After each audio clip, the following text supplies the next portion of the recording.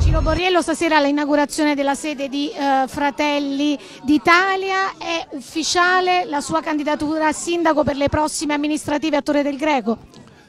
Io personalmente mi sono autocandidato, uh, forte anche del sostegno di Luca e Salvatore Quirina. È chiaro che aspettiamo la parola definitiva da parte dei vertici provinciali e regionali. Posso dire che già ieri, ma credo che già una notizia pubblica, anche Forza Italia ha aderito alla mia candidatura.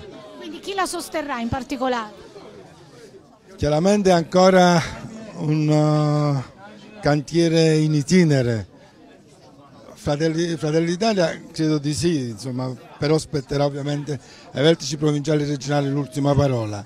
Uh, Forza Italia mi hanno già confermato sia i vertici locali che i vertici uh, regionali nella persona di Fulvio Martuscelli in particolare e del senatore Silvestro. Sicuramente ci sarà come al solito la mia lista, come sapete c'è anche la lista dell'UDC, ci sono molte altre liste che si stanno avvicinando, in verità io vorrei non allargare troppo, vorrei una coalizione quando più possibile, sapendo che è molto difficile, diciamo coesa almeno sugli obiettivi. Tre obiettivi cardine del suo programma politico? Beh, uno diciamo che è un po' fantasioso, ma credo che dobbiamo avere anche coraggio, visione e fantasia. Creare a Torre del Greco un enorme centro storico che comincia da Cesare Battista per arrivare fino a Piazza Luigi Palomba e fino alla zona mare con mega parcheggi. Uh, facendo l'esproprio a quella degli zoccolanti, facendo un accordo con la provincia per il nautico, quindi demolire l'IPAM e trasformarlo in parcheggio. Uh, dietro la farmacia La Guardia ci sta quel palazzo che fu demolito, anche là potrebbe venire un'altra area parcheggio e unire Santissima Trinità con circunvallazione perché quello spazio intermedio è già, eh, il già deciso dal comune, poi per le solite lungaggini l'atto non è ancora fatto, ma c'è la volontà del proprietario di regalarlo al comune. Tutti questi parcheggi dove non sono alberati eh, fare tantissimi impianti fotovoltaici. Oggi l'energia è un problema importante, io credo che i comuni si debbano, uh, si debbano accollare di questo problema e trovare le soluzioni.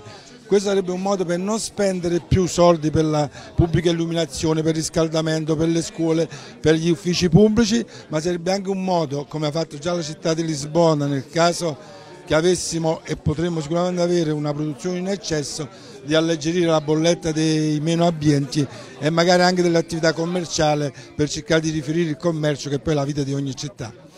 In tutta quest'ottica ho incontrato pochissimi per adesso, devo dire, commercianti, ma ho già lanciato a loro questa idea e al di fronte delle mie titubanze invece ho trovato una discreta apertura perché ormai si è capito che non si può più competere con i centri commerciali, una volta le attività commerciali stavano all'interno dei centri storici, ormai sono tutti quanti delocalizzate, quindi bisogna cercare di riportare l'economia al al centro di tutto.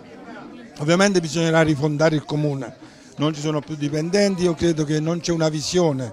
Una delle mie fortune, eh, tra virgolette, della passata amministrazione, almeno io ritengo quale, fu aver costruito un ufficio progetti. Una eh, città come Torre del Greco, Qualcosa della Campania, che non ha un ufficio progetti, capace di progettare vuol dire che non ha visione. Infatti io temo che abbiamo perso almeno in gran parte il treno del PNRR. Spero che ci sia ancora tempo di rimediare. Dopo l'ultima amministrazione Borriello com'è cambiata questa città? Questo lo lascio decidere ai cittadini, se oggi io sto ancora qui, ancora si parla del mio nome come eventuale candidato, è perché probabilmente dopo di me c'è stato il voto.